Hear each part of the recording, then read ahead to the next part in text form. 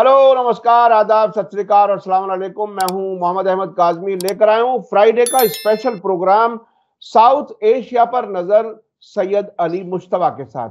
सैयद अली मुश्तबा साहब चेन्नई में रहते हैं, सीनियर जर्नलिस्ट हैं। साउथ एशिया पर खास नज़र उनकी रहती है। बहुत ऐसे सोर्सेज हैं जो अखबारों से भी हट करके बहुत सी इंफॉर्मेशन आप तक पहुँचती है, बहुत सी सोर्सेज से आपका रबता रहता है और पूरे हफ़्ते नज़र रखते हैं कि इस पूरे इलाके में भारत के पड़ोस में मुख्तलिफ़ मुल्कों में क्या क्या बड़ी खबरें, क्या कुछ वाकयात हो रहे हैं, ताकि आपके सामने एक साथ हफ़्ते में पूरे आसपास के साउथ एशिया के मुल्कों की सारी खबरें आप तक पहुंचाई जा सकें। आज हम जिन इश्यूज़ पर बात करेंगे, बहुत ही अहम है, पाकिस्तान में क्या अब ये जो इलेक्शन हो रहा है, इसके बाद भी क्या ये कहा जा सकेगा कि डेमोक्रेसी बची है? क्योंकि इमरान खान जेल में है उनके साथी मिनिस्टर उनकी अहलिया को भी कैद हुई है। उसके अलावा ये देखना बहुत ही अहम है कि ये जो डेमोक्रेसी का गला घोटने का मुख्तलिफ़ मुल्कों में कोशिश हो रही है क्या ये उसी का हिस्सा है? इसके बाद हम बात करेंगे अफ़गानिस्तान की। अफ़गानिस्तान में जो फॉरेन मिनिस्टर हैं अमीर खान मुत्तकी साहब उन्होंने काबुल में एक इलाकाई कोऑपरेशन के लिए आ, मीटिंग की है जिसमें भारत, पाकिस्तान, ईरान, रूस समेत कई मुल्कों ने शिरकत की है। उसमें क्या कुछ हुआ, वो हम समझेंगे। और तालिबान सरकार और चीन के दरमियान भी बहुत ही अहम एक मोड़ आया है कि तालिबान का एम्बेसडर बीजिंग पहुँचा है और वहाँ वहाँ के प्रेसिडेंट शी जिनपिंग ने उनसे मुलाकात की है। हालाँकि अभी तक मुख्तलिफ़ किसी भी मुल्क ने फॉर्मली तालिबान की सरकार को तस्लीम नहीं किया। ये बहुत ही अजीब अजूबा हो रहा है इंटरनेशनल पॉलिटिक्स में कि सबने एक तरह से उसे सरकार माना भी है और नहीं भी माना है। उसके अलावा मालदीव में जो पिछले दिनों एंटी इंडिया स्लोगन से मोइजू साहब प्रेसिडेंट बने थे इंडिया आउट के स्लोगन से वहाँ भी कुछ बेचैनी बढ़ी है।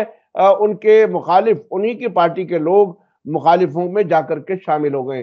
एक और बहुत बड़ी खबर है, भारत जो अमेरिका पर बहुत तकिया किए रहता है, यानी उसकी सपोर्ट को बहुत बड़ी सपोर्ट मानता है। अभी जो पिछले दिनों खबर आई थी पन्नू पर हमला हुआ था एक सिख लीडर पर, उसके बाद दोनों मुल्कों के बीच कशीदगी हो रही है और वो खबरें हमारा मीडिया नहीं दे रहा। आखिर क्या कुछ है जो छुपाया जा रहा है, उस पर भी हम बात करेंगे सैयद अली मुश्तबा के साथ। अली मुश्तबा साहब वेलकम है आपका। मीडिया स्टार वर्ल्ड को आप वक्त दे देते हैं, उसके लिए बहुत बहुत शुक्रिया। आप ये बताइए कि ये इमरान खान जो सबको उखाड़ फेंकने की बात कर रहे थे, वो जेल से बाहर नहीं आ पा रहे हैं और एक के बाद एक उन्हें सजा दी जा रही है। शाह महमूद कुरैशी जो उनके फॉरेन मिनिस्टर थे, वो भी जेल में हैं। उनकी अहलिया, क्या वो जेल में है? बुशरा बीबी, क्या कुछ है? क्योंकि अब अगले प्रोग्राम का जब हमारा होगा, उस वक्त तक वहाँ इलेक्शन हो चुके होंगे। आप क्या देख रहे हैं? इस एक हफ़्ते में क्या कोई अचानक कुछ होने वाला है? या जो कुछ अब तक नज़र आ रहा है, वही सब कुछ होगा? जी, बहुत शुक्रिया काजमी साहब। पहले मेरे सामीन को मेरा आदाब, सत्य श्रीकाल और सलाम वालेकुम। आज जो है हम लोग चर्चा का आगाज़ इस्लामाबाद और पाकिस्तान से कर रहे हैं। और अगले इलेक्शन जो है वो आठ तारीख को होने वाला है पाकिस्तान में। और उसकी सरगर्मियाँ जो हैं अब बहुत ही मतलब आसमान छू के बोल रही हैं। अब इस माहौल में जो खबर आई है वो दो बड़ी खबरें आई हैं। एक खबर आई है कि साइफर केस में जो है इमरान खान को 10 साल की सजा दे दी गई है। और इसके साथ साथ शाह महमूद कुरैशी को भी जो है 10 साल की सजा दे दी गई है।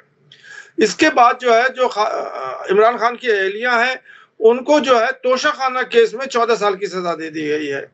अब ये लोग जो हैं, ये तो अब जेल में वो दोनों तो पहले ही से थे, अब ये मोहतरमा जो है, ये भी जेल चली गई हैं, ये जाने वाली होंगी।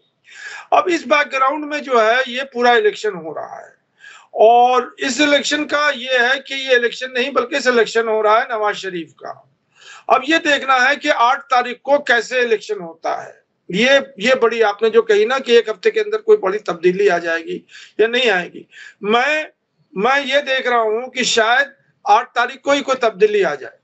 शायद आ जाए, या ना भी ना भी आ सकती है। यहाँ पे ये वो तब्दीली ये आएगी कि आठ तारीख को जो है मार्शल लॉ डिक्लेयर हो जाएगा और आसिम मुनीर जो है वो मार्शल लॉ डिक्टेटर हो जाएँगे। दूसरी बात है कि एक जन सैलाब उबड़ पड़ेगा मतलब आठ तारीख को और सारी चीज़ों को उखाड़ के फेंक देगा। और इमरान खान को जो है जेल से रिहा कर देगा। ये मेरी अपनी क्यासारी है, मेरी अपनी अटकलियाँ हैं।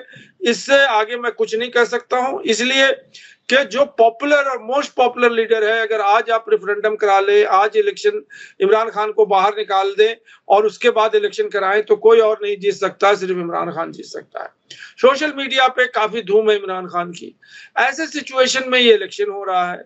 अब इलेक्शन में जो है ये इन्होंने क्या किया है जो उनके केयर टेकर गवर्नमेंट है और इलेक्शन कमीशन है और आर्मी जो जो लोग हैं, इन्होंने पूरी पीटीआई को खत्म कर दिया। पीटीआई जो है इलेक्शन ही नहीं लड़ रही है एज अ पॉलिटिकल पार्टी और उनके जो लोग हैं, वो सब इंडिपेंडेंट बन के लड़ रहे हैं। अभी मुझे पाकिस्तान से खबर आई है, जहाँ पे वो अपील कर रहे हैं मतलब वोटर्स को और लोगों को, कि आप लोग जब वोट डालने डालने जाइएगा तो ये मालूम कीजिएगा कि पीटीआई के, के का कौन कैंडिडेट है जो इंडिपेंडेंट खड़ा हो रहा है वो पार्ट पीटीआई का बंदा है। उसको आप वोट दें। तो इस तरह की सरगर्मियाँ सोशल मीडिया पे चल रही हैं। पीटीआई जो है वो इलेक्शन नहीं लड़ रही है और ये जो लोग हैं जो उसके, उनके हिमायती हैं पीटीआई के, वो इंडिपेंडेंट कैंडिडेट बन के लड़ रहे हैं। और ये बहुत ही इंटरेस्टिंग माहौल है कि इस माहौल में अब एक एक और को मैंने सुना है वहाँ पे पाकिस्तान में कि इलेक्शन तो जो हो जाएगा तो हो जाएगा, लेकिन अब इलेक्शन शुरू होगा। वो ये कह रहे हैं कि कोई स्टेबिलिटी जो है वो पाकिस्तान में नहीं आएगी, चाहे वो आप नवाज़ शरीफ को ले आए, चाहे बलावल भुट्टो को ले आए, और चाहे किसी को आप ले आए।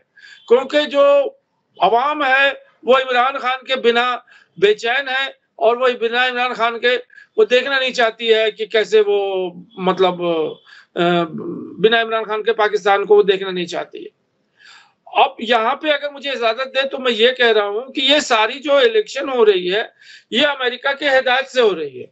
हम्म। और आर्मी जो है वो अमेरिका की हिदायत मान कर करके इलेक्शन करवा रही है। और अमेरिका का ये कहना है मैंने पहले भी कहा इस प्रोग्राम में कि ये डीप स्टेट है।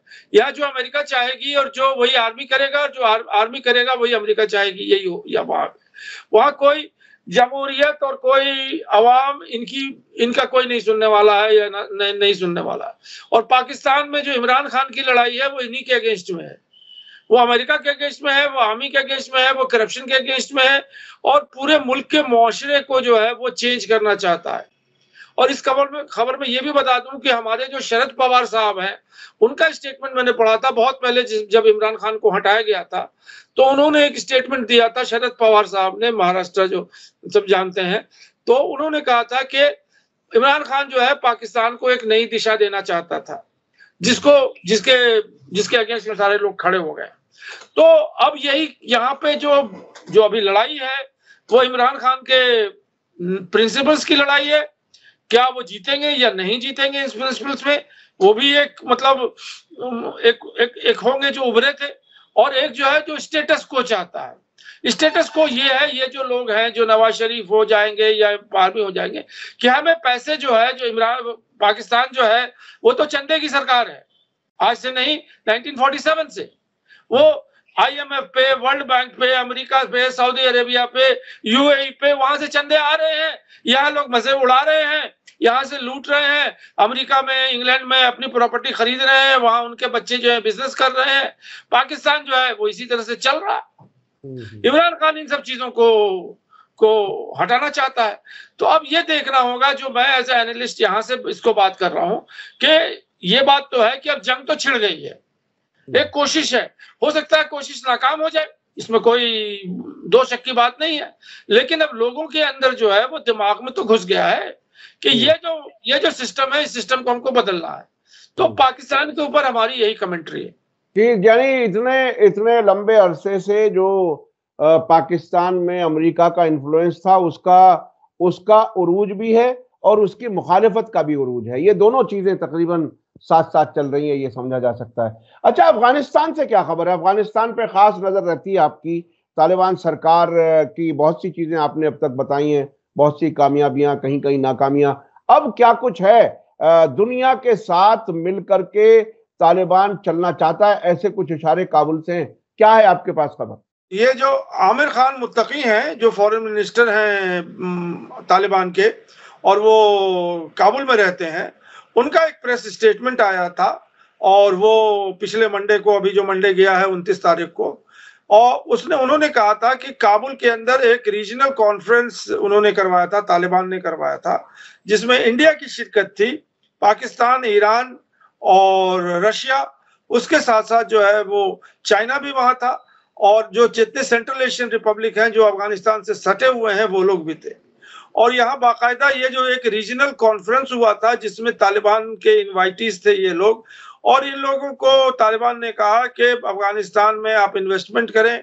आप यहाँ यहाँ बहुत सारी अपॉर्चुनिटी आपके लिए है और आप आकर करके इसके, इसको जो है देखें। और इनको बाकायदा एक इनविटेशन दिया था कि आप जो है मतलब तालिबान को और अफ़गानिस्तान को आगे डेवलपमेंट करने में जो है आप मदद दें। ये खबर है। हम्म। और उसका क्या नतीजा क्या है? क्या कुछ लगता है आपको? नहीं, देखिए, उसका नतीजा तो बिल्कुल साफ़ है, क्योंकि जब इंडिया वहाँ जा रहा और पार्टिसिपेट कर रहा और इतने लोग पार्टिसिपेट कर रहे हैं तो ये तो पॉजिटिव सिग्नल है ना? ये तो पॉजिटिव सिग्नल है। यहाँ तक कि जो भी लोग हैं, उन्होंने तालिबान को रिकॉग्नाइज नहीं किया है, लेकिन फिर भी वो जा रहे हैं वहाँ पे और जाके वहाँ पार्टिसिपेट कर रहे हैं। और ये सारी जो कंट्रीज़ हैं, इनके अभी तक जो है, कुछ ना कुछ तो अपनी इक्वेशंस अपने अपने मतलब मुख्तलिफ़ इक्वेशंस जो है वो तालिबान से बने हुए हैं। तो ये बहरहाल एक पॉजिटिव सिग्नल है और अफ़गानिस्तान का की तरफ़ से ये सिग्नल है कि आप हमें रिकॉग्नाइज करें या ना करें, हम तो अपना काम करते जाएँगे। अच्छा तालिबान और चीन के बीच में क्या कुछ हो रहा है? वो भी काफ़ी अहम डेवलपमेंट है, क्या कुछ है? जी ये बहुत खब, अहम खबर है। बिलाल करीमी जो है उनको डिजिग्नेट किया है एम्बेसडर टू चाइना और वो गए हैं वहाँ मतलब बेजिंग और उन्होंने जो है अपना क्रेडेंशियल एज अ एम्बेसडर पेश किया था। चाइनीज़ जो हेड है जी ली पिंग के पास जिन्होंने उनको एक्सेप्ट किया एज एम्बेसडर ऑफ़ तालिबान और उनको कहा कि आप जाकर के काबुल की एम्बेसी में जाके जाकर के आप रहिए। तो ये एक बहुत बड़ी खबर है इसलिए कि ऑफिशियली चाइना ने तालिबान को रिकॉग्नाइज नहीं किया है। लेकिन उनके एम्बेसडर को वो वहाँ जगह दे रहा है उनको एक्सेप्ट किया है।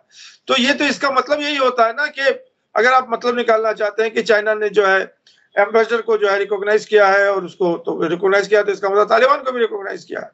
तो इस तरह से आप ये समझ रहे हैं कि ये एक बड़ा पावर दुनिया का जो है ग्लोबल पावर है चाइना वीटो पावर है चाइना वो जब एक्सेप्ट कर रहा तालिबान के एम्बेसडर को तो इसका मतलब है कि अब दिन दूर नहीं है कि जब तालिबान को जो है रिकॉग्नाइज किया जाएगा।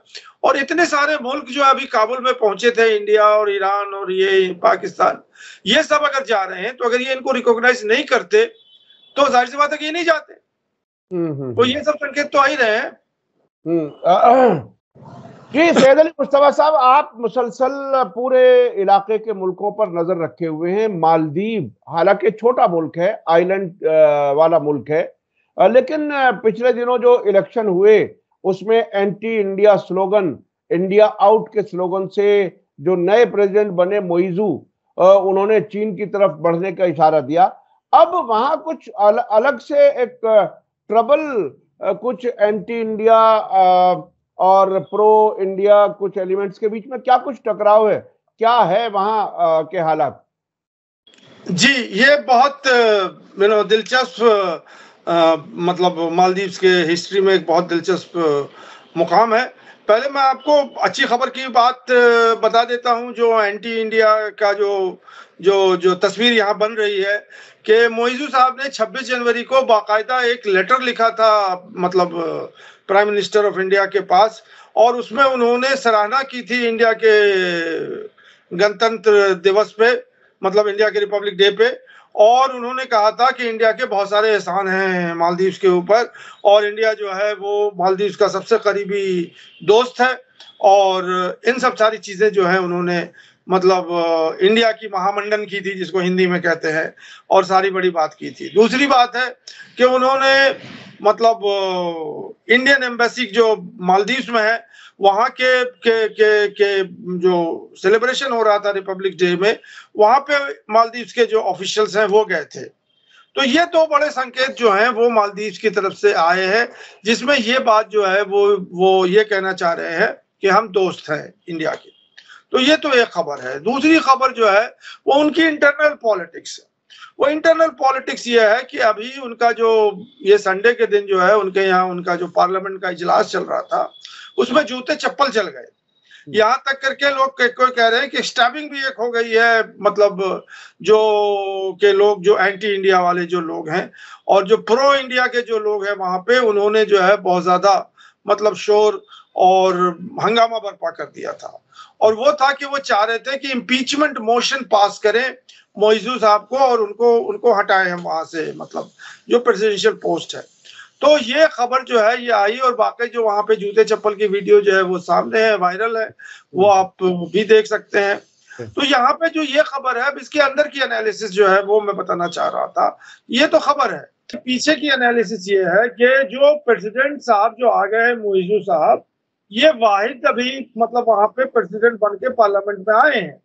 इनकी पूरी कैबिनेट और इनका पूरा जो, इनकी पार्टी का जो मतलब लोग हैं, वो अभी तक सिलेक्ट होकर इलेक्ट होकर के नहीं अभी पार्लियामेंट का कॉन्स्टिट्यूशन हुआ है उनको। और वो होना बाकी है। और ये जो है मतलब इसी वजह से वहाँ पे जो मेजोरिटी है, वो पिछले गवर्नमेंट की मेजोरिटी है इन पार्लियामेंट तो इस वजह से जो है, जब ये आए तो इन्होंने एंटी मतलब मोइजू करके उनकी इम्पीचमेंट की बात की, क्योंकि वहाँ जो है, अभी पार्लियामेंट वो डिवाइडेड है between pro India and anti India तो जो प्रो इंडिया के फोर्सेस हैं, वो अभी पार्लियामेंट में हावी है। और वो ये चाहते हैं कि मोइजू को जो हम किसी तरह से निकाल दें जो कि एक डेमोक्रेटिकली इलेक्टेड आए हैं।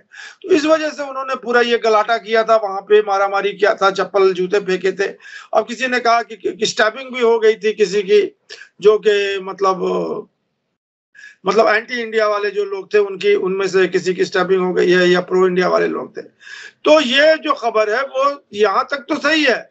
लेकिन अब इसका ये है कि इम्पीचमेंट उनका होगा या नहीं होगा कैसे क्या होगा इसकी हमें कोई ज़्यादा अभी अभी, अभी अभी तो सरकार बने हुए जुमा जुमा आठ दिन वाली हालत है। अभी इसे इम्पीचमेंट का नंबर एक इलेक्टेड लीडर के लिए ये बहरहाल एक अगर ऐसा हुआ यही तो, यही तो, चीज़ यहाँ पे ये है ना कि मालदीव जो है ना वो एक अलग ही है। मुझे याद है नशीद जब प्राइम मिनिस्टर बने थे हेड ऑफ़ द स्टेट या प्राइम मिनिस्टर बने थे उनको उनके वीडियोस थी उसकी। कि वो अपने ऑफ़िस में प्राइम मिनिस्टर के चेयर पर बैठे हुए हैं लोग आते हैं उनको कॉलर पकड़ के उठाते हैं और घसीटते हुए उनको डोर से बाहर कर देते हैं। प्राइम मिनिस्टर ऑफ़ मालदीव तो ये तो वहाँ चल रहा है उसी तरह की बात अभी अभी हो तो, रही है। तो, तो ये वाइ, वाइब्रेंट डेमोक्रेसी हुई फिर तो बहुत ही एक्टिव लोग हैं। जी, अच्छा। जी जी। अब इसमें कौन कौन किस, किसका पल्ला भारी होगा? मुझे तो यही लग रहा है कि ये मामला तभी तक सेटल हो जाएगा जब तक के जो मोयूजू के जो पार्टी के जो लोग हैं या उनके जो लोग हैं, वो पार्लियामेंट में आकर करके अपनी जगह नहीं ले लेते हैं। क्योंकि पार्लियामेंट में अभी उनके समर्थक अंदर नहीं आए हैं और अभी वो बाहर हैं, उनका प्रोसेस है सिलेक्शन का इलेक्शन का। इसमें एक चीज़ और बहुत अहम खबर है, एक मिनट के लिए मैं बता दूँ कि जो मोइजू की पार्टी थी और जो मोइजू नॉमिनेट हुए थे, वो शायद मेरे ख्याल में मालदीव डेमोक्रेटिक पार्टी है। वो पिछले 2015 में उनके लीडर थे, अब्दुल्ला यमीन, और वो करप्शन के चार्जेस में वो मुबलिस हो गए थे और उनको 12 साल के लिए जो है वो इलेक्शन लड़ने से बरतरफ कर दिया था। तो यमीन साहब ने ही जो है मोइजू को अपना मतलब अपनी तरफ़ से नॉमिनेट किया था। अब वहाँ मोइजू साहब की और अमीन साहब की ठट गई है, क्योंकि वो ये चाह रहे थे कि अगर मोइजू साहब आ जाएँ मतलब गद्दी पे तो फिर मैं ही जो है प्रॉक्सी प्राइम मिनिस्टर रहूँगा, सारे फ़ाइल मैं ही साइन करूँगा, सारी चीज़ें मैं ही करूँगा, जो कि मोइजू साहब ने करने नहीं दिया। उनको सिर्फ़ एक ही रिलीफ दिया कि वो जेल में बंद थे। अब्दुल्ला यमीन, उनको ला करके उन्होंने कहा कि आप हाउस अरेस्ट हो जाइए। और ये इंडिपेंडेंटली अपना सारा काम देख रहे हैं मालदीव के बिहार पे। अब यमीन साहब जो हैं वो खफा हो गए हैं मोइजू साहब से और वो अब अपोजिशन जो मोइजू साहब की है वहाँ वो ज्वाइन कर कर लिया उन्होंने और कहा कि इनको इम्पीच कीजिए।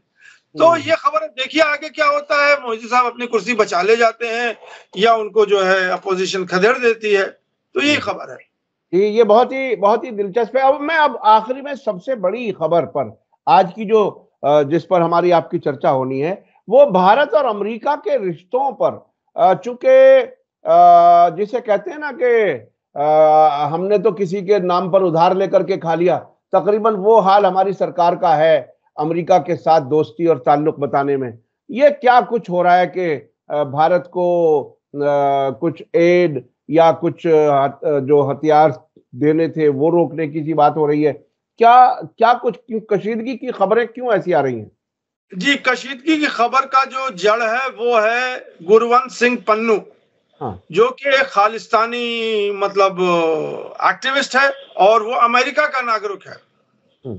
वो अमेरिका का नागरिक है उसके पास अमेरिकन सिटीजनशिप है और वो कनाडा का भी सिटीजनशिप रखता है डुअल सिटीजनशिप है वो हमारी इंडिया का नागरिक नहीं है उसके ऊपर न्यूयॉर्क में जो है वो एसेसिनेशन अटेम्प्ट हुआ था जिसमें वो बच गया। और जो अमेरिका की एफबीआई है या सीआईए है या जो भी कुछ उनके इंटेलिजेंस और ये है उन्होंने इसको फॉइल किया इस एसेसिनेशन अटेम्प्ट को।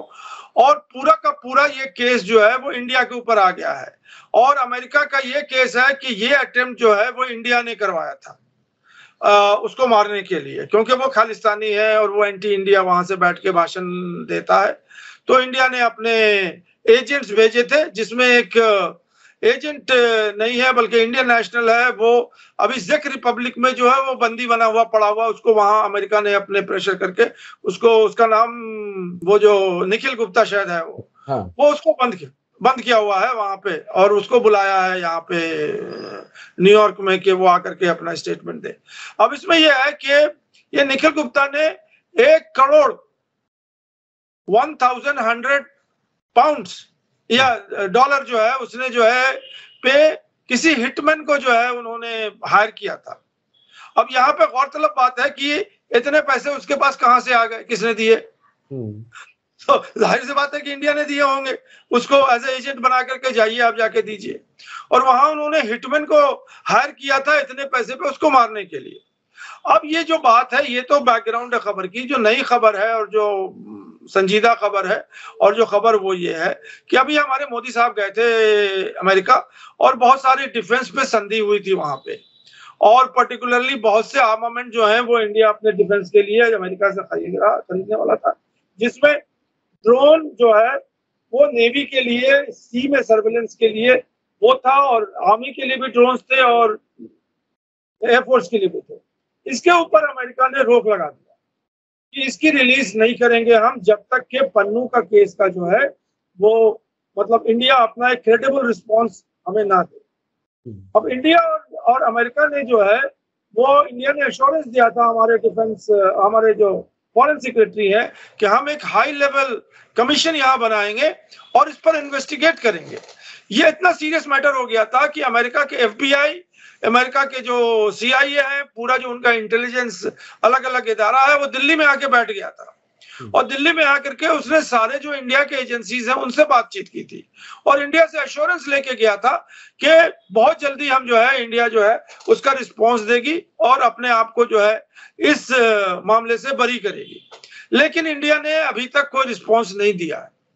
अब। उनका जो जो उन्होंने टाइम फ्रेम दिया होगा कि इतने दिन के अंदर आप दीजिए वो भी अवधि पार हो गई है अब यह है कि इसी को हाईलाइट करने के लिए वहाँ पे जो उनके पार्लियामेंट है सेनेट है और अलग अलग जो फोरम है जहाँ पे ये होते हैं तो इसको उन्होंने एक मुद्दा बना दिया है और ये मुद्दा इसलिए बना दिया है कि पन्नू जो है वो एक सिख नहीं है वो मेयर एक सरदार नहीं है या मेयर एक खालिस्तानी नहीं है वो अमेरिकन सिटीजन है। और अमेरिकन सिटीजन की रक्षा करना वो अमेरिका स्टेट का काम है। और इंडिया जो है उसको बहुत लाइट ले रही है और इंडिया ने कोई भी रिस्पांस क्रेडिबल रिस्पांस नहीं दिया है कुछ बात ही नहीं किया है। जो पत्रकार लोग हैं उन्होंने फॉरेन ऑफ़िस से पूछा कि आपका क्या रिस्पांस है उन्होंने कोई रिस्पांस नहीं दिया है।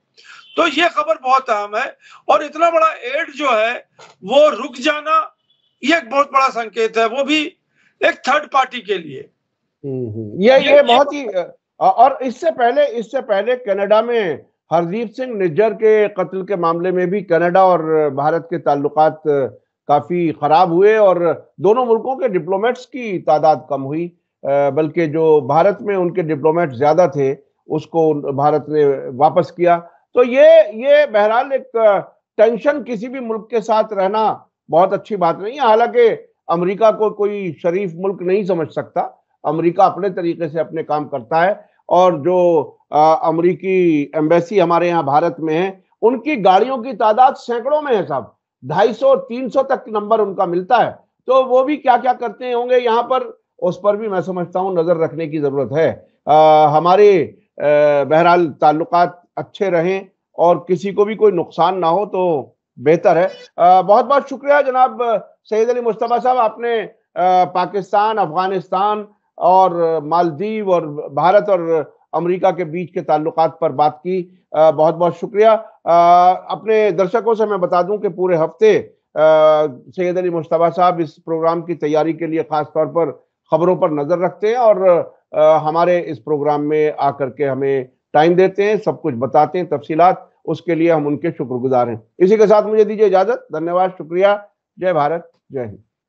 मीडिया स्टार वर्ल्ड के और वीडियो देखने के लिए हमारे चैनल को सब्सक्राइब करें और सीधे नोटिफिकेशन पाने के लिए बेल आइकन दबाएँ। और अगर हमारी खबर सच्ची और अच्छी लगे तो अपने व्हाट्सएप इंस्टाग्राम फेसबुक और ट्विटर अकाउंट पर ज़रूर शेयर करें।